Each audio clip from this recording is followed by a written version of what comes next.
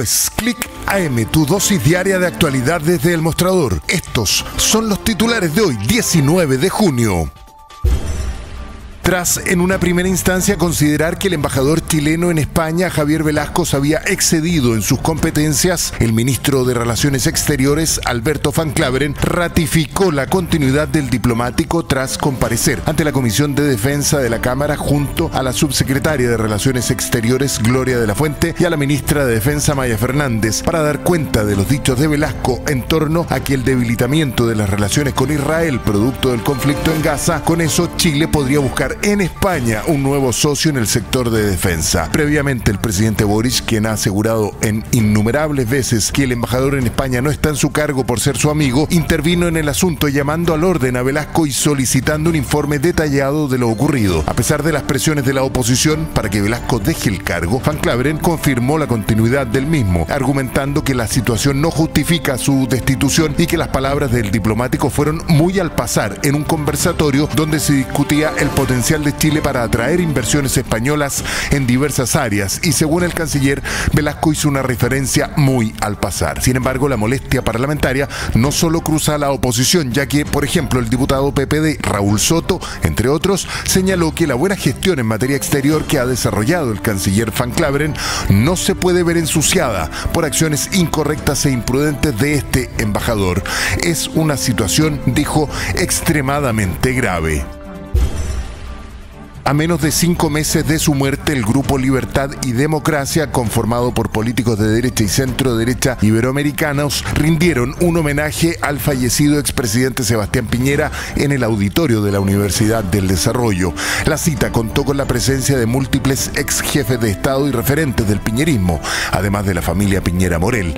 Entre las figuras presentes se pudo ver a los expresidentes Eduardo Frei Ruiz Tagle de Chile, Mauricio Macri de Argentina, Iván Duque de Colombia, Guillermo Lazo de Ecuador y Jorge Quiroga de Bolivia. El homenaje también contó con la sorpresiva presencia del presidente de Uruguay, Luis Lacalle Pou, quien viajó la noche del lunes rumbo a Chile, también para reunirse con el presidente Gabriel Boric. La repentina muerte de Piñera tiene en un vacío a la derecha chilena, que al día de hoy carece de liderazgos sólidos, aunque con Evelyn Matei como principal carta presidencial, y que desde hace un tiempo está siendo permanentemente intimidada por la ultraderecha.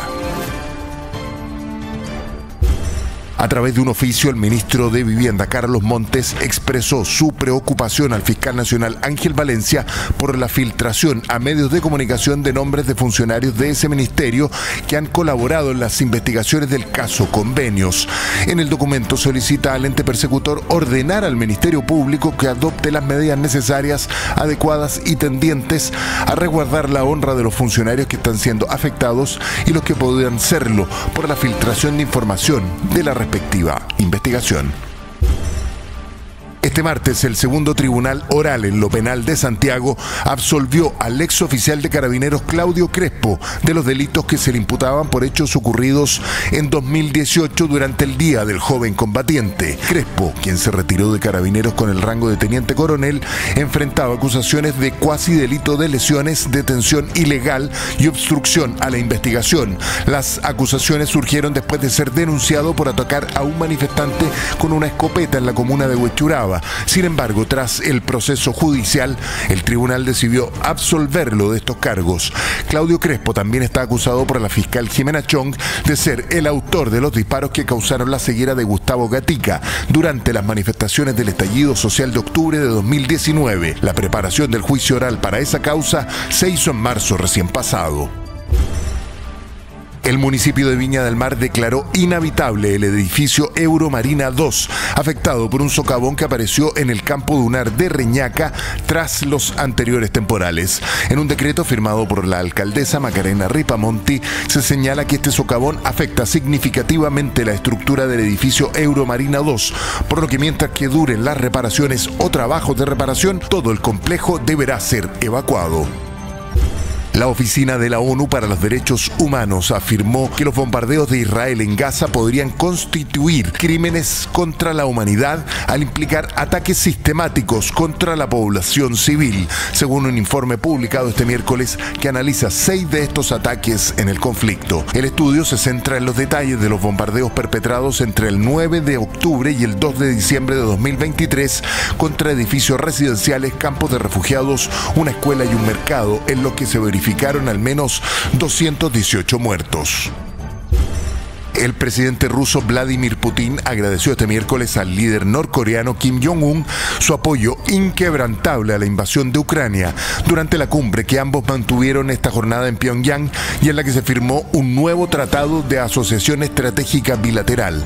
Putin también anunció que ambos líderes discutirán un nuevo documento que servirá de base para las relaciones bilaterales al inicio de la reunión que tiene lugar en el Palacio Kumsusan en la capital norcoreana según informó la agencia rusa TASS.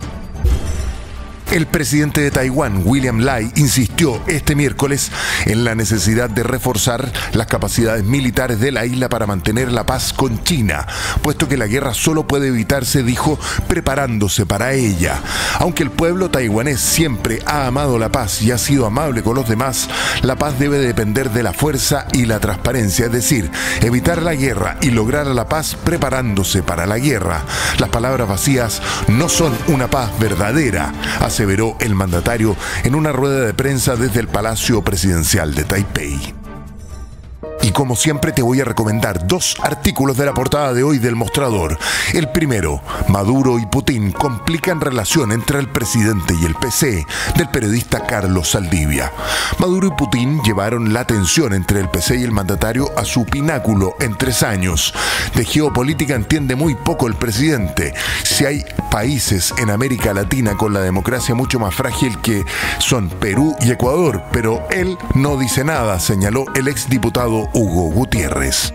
Y el siguiente artículo reforma el sistema de nombramientos judiciales, consenso en que no puede haber cambios precipitados del periodista Rodrigo Córdoba. Javier Couso advierte que legislar antes de que se resuelva el caso del presunto tráfico de influencias en el Poder Judicial y con la urgencia de la polémica puede traer un remedio peor que la enfermedad. Además cree que las garantías no están dadas con un órgano autónomo que haga nombramientos. Y ahora vamos al mostrador mercados y la cifras económicas para hoy. El valor de la UF es de 37.530.62, la UTM 65.770, el precio del dólar observado 934.91, el euro 1.003.66, el índice de precios al consumidor es de 0,3% y la tasa de política monetaria esta vez cambió pues el Banco Central ayer decidió recortarla en 0.25 puntos, dejando en 5.75. La Bolsa de Comercio de Santiago en su índice selectivo registró un valor de 6.542.55, lo que significó una variación de un 0,55%. Y a la hora de hablar de dinero y poder, aprovecho de invitarte a que te sumes a nuestra comunidad de El Mostrador Semanal, un newsletter que todos los domingos y jueves te cuenta lo que hay que saber de economía, finanzas y negocios. Soy Alejandro Repenin. Que tengas un buen día y te esperamos en el mostrador.cl, el poder de la independencia.